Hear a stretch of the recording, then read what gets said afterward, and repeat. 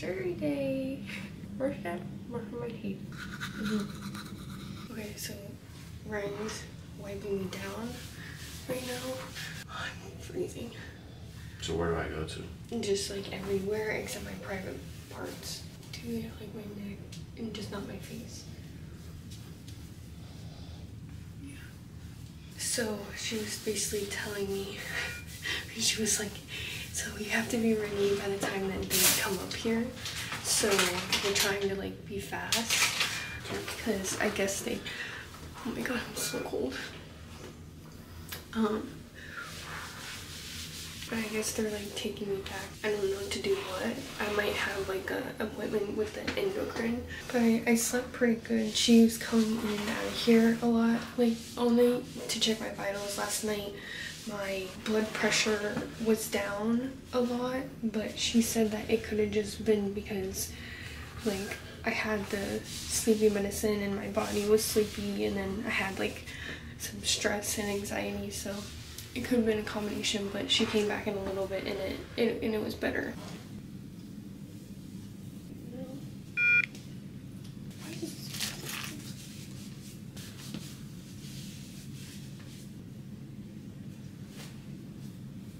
Do I have to put this up on you?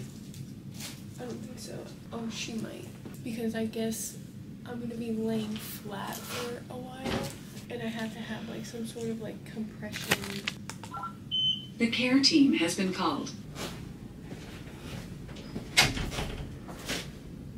At least you're the first of the day. You get knocked out. Yeah. Oh boy. Ooh, We go our separate ways. Not yet. You're gonna do good. Alright. I'm gonna be waiting right here. I'll be waiting for you. You'll wake up and you'll see me. Yeah. I was like really anxious last night and like I have a little bit of like nerves now but I think like the sleep got me ready. Yeah. Like my body was able to like detach for a second. Sleeping out the ice cream. What's crazy though is her prolactin levels. They came back and said that they actually spiked in the in the past two weeks. Yeah. That's pretty crazy. Like it spiked almost double of what it was. Yeah. Yeah. It's just crazy. Like, what the Cabergoline like does. but like how you feel to it. It's like you would almost start lactating again. Yeah, like if I were to take it for another And I feel not like this is it- is why it's been so. Yeah. It's like a, it's a constant like cycle. Yeah, this is gonna be good. This is gonna be good. And then think about it. It's good to hear that they did spike, but then you're gonna see a Drop. a drop right away. Just get this thing out. And then you're gonna be completely numb. Yeah. And that's two year battle. It's gonna be finally over with. Okay, so I think the area that I'm in now is like the pre-op. I don't know if this is like where I'm gonna come back for recovery, but I'm in here and she just, I had to change my gown again. I have compression socks on. They're like taking my vitals. Um, I have a like a, a like a warmer while I'm doing all this like pre-op stuff. Ryan's in the waiting room and he'll come back here when we start talking to the doctors and all. All of the doctors and the nurses here are so nice. I got my cap on. Might have to do another one.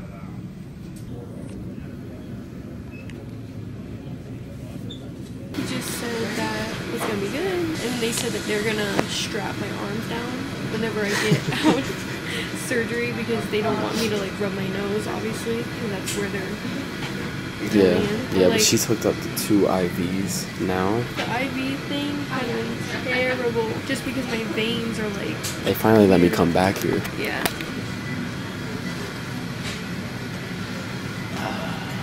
Yeah, right. Mm-hmm. No, you can do it. You know what? I did, but I should probably go again. I'm not getting You look beautiful. You look really beautiful. I like the I like this bonnet. It looks fancy. oh, this is gonna be the longest four hours of my life. Do sure. You're gonna do good. Thank you.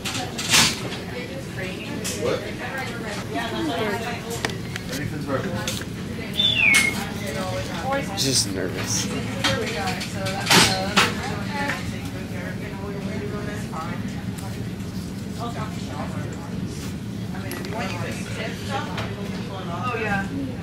Tipped are the kidney basin. Now we're joking. Yeah.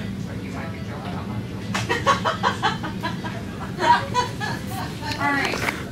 We're off. On it. All right, we're gonna take the camera up. We'll see you in a little bit. Sorry. See you in a little bit. We'll see you in a little bit. Come on, guys. Wait, no, you don't have to go.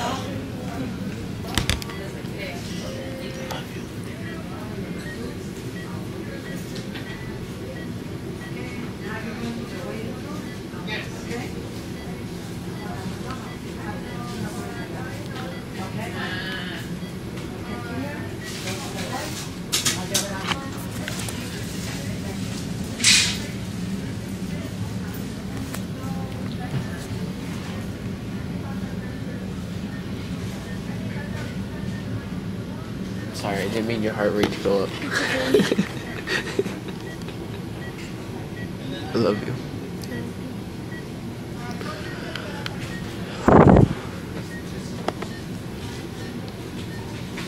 It's gonna be good. I'm gonna be right here after.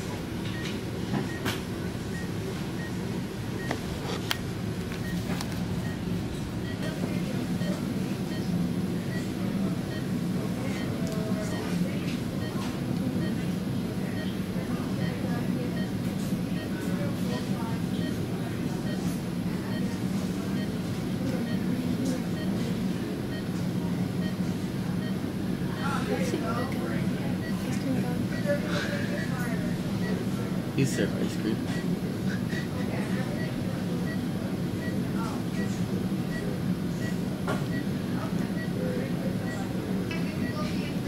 Callie. Let's hit the part. Cry. just know that's where I'll be. So when you're sleeping, just dream about me. I dream about you. Don't be sad.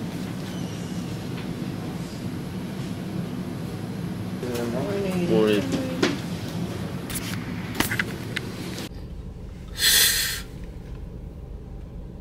Fuck. So, she went in for surgery. she was just just got a text saying she's in the procedure room. Once I turned the camera off, and you know, we were just spending time with ourselves. Um, but then all the doctors ended up coming in, and, and it got real. I think it got real, real fast. Um, and just like hit us both. We both fucking crying um, as they're like wheeling our way, but definitely got real in that moment. And it's like it's not really like uh they rarely have anything happen, you know. But I just think it's the thought of surgery. I think it's the thought of where they're having surgery on her, the anxious feelings kind of build up. That's your partner, you know.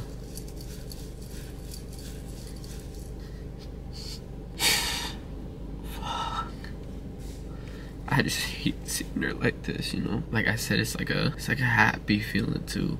It's not just like sad. It's like a happy feeling of like you're ready for what's to come. But I mean, this is our life. This is our path, and everything. We're meant to be right in this this spot that we are right now. Like I'm trying not to cry and like show that but like these are true feelings right now these are true emotions right now and you know our life isn't perfect it's like that's why we document this stuff especially this because after we have our kids we have the big fucking family that we want. They gonna be able to watch this back, and they gonna be able to see how strong their mom is. And I'm lucky to have a partner like that, a wife as strong as she is, that's gonna be raising my kids. I'm probably gonna get off the camera, y'all, because if I don't, I'm gonna be fucking crying the whole time, and I'm gonna be sitting here thinking about it. So I'm probably gonna like go get some food or something, or just like coffee, and uh, keep my mind busy. Keep my mind busy until she's out. They're gonna be calling me they said around 11 11 a.m so thank you guys for for watching supporting feeling like we have like we, this is our space we can come and talk to you know.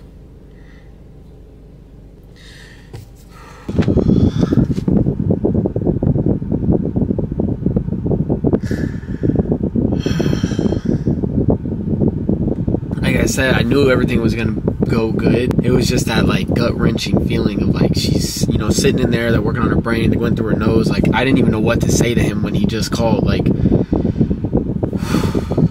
they're still still working on her. Like I guess he did his part by taking the tumor out. He said he got all of it out. Um, we're gonna be able to see it in the MRI tomorrow. Pretty much, she's gonna be in the ICU, and then he said around one o'clock. I love you. Okay, I love you.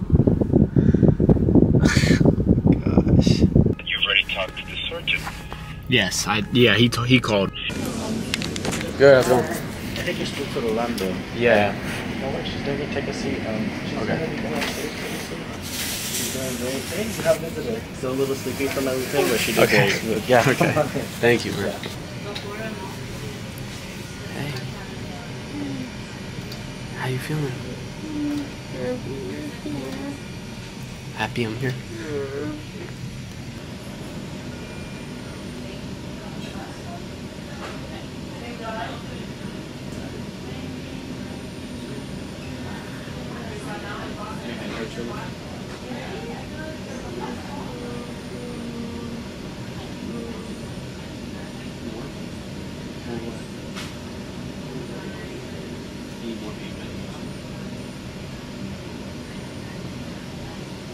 Hurts that bad?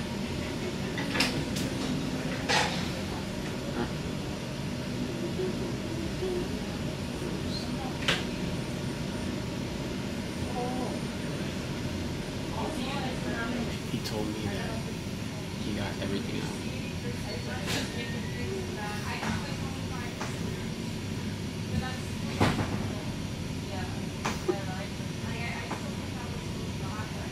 And that the surgery went perfect.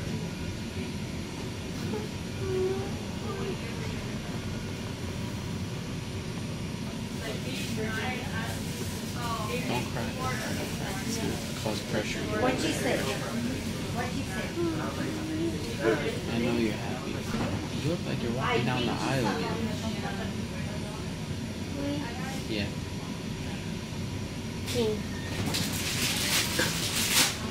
How's your head?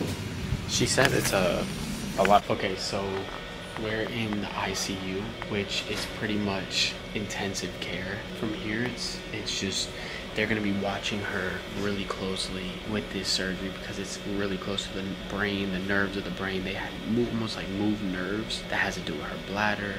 Um, that could cause leaking in her brain that they have to watch. Um, they have the, the nerve with the bladder too. They have to watch because if she's peeing too much, then it could cause um, some type of just something something uh, like a diabetic. I don't know what exactly what they were saying, but it's hard to like relay information, trying to like do everything all at once. But pretty much like they're monitoring her pee. It's literally right here.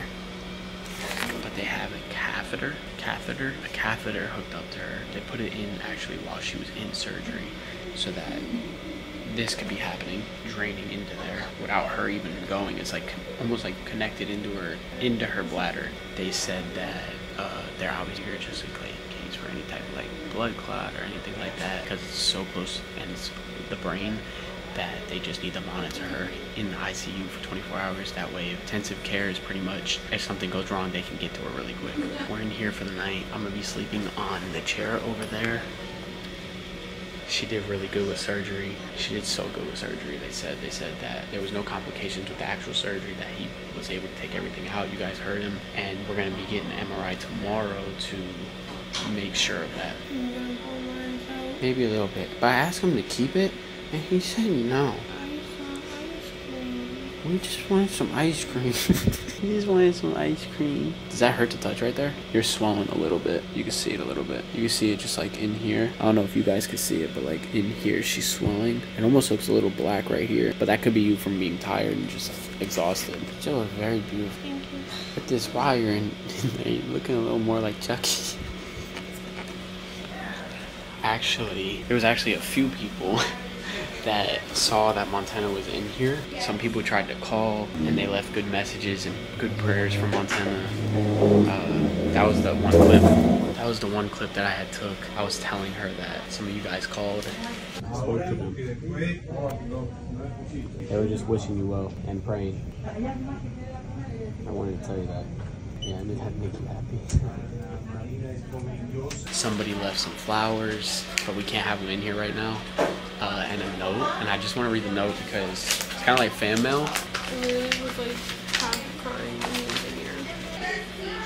So, praying for you on this path to better health. The one who made us knows how to mend us gently, wisely, and patiently. Dear Montana, wishing you a speedy recovery and hoping each day brings you closer to feeling like yourself again. Take this time to rest, recharge, and know you're surrounded by love and support. We're here for you. Get well soon. Warm regards, Janelle and Marcel. Those who hope in the Lord will renew their strength. They will soar on wings like eagles. Praying you'll sense God's perfect care for you as each day brings you renewed strength and health. Well, thank you so much to Janelle and Marcel. Really appreciate that. I wish I could have been here when y'all were here, but Like literally what he was telling me, and just like yeah, I was emotional. Feel like the Merc fam, you know. yeah. And trust me, I've been having many interactions myself. All the love and support that you guys are showing really got us into this process with ease. I posted something on my Instagram, but it really got us Yeah. of this whole process because this brings like a lot of stress, a lot of anxiety. You know, this this is a crazy process. Like, like this surgery turned out the way that it did because I had you guys in my heart. You guys made me confident and believe that I was gonna be okay. Yeah.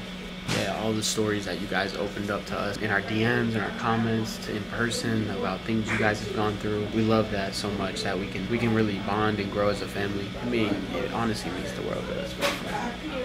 I feel like I haven't stopped like crying all day. I don't know what we ever did to deserve the family that we have.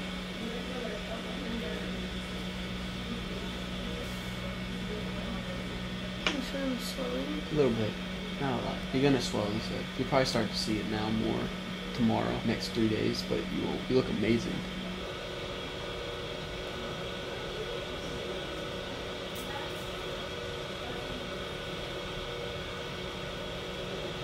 Trying to force me home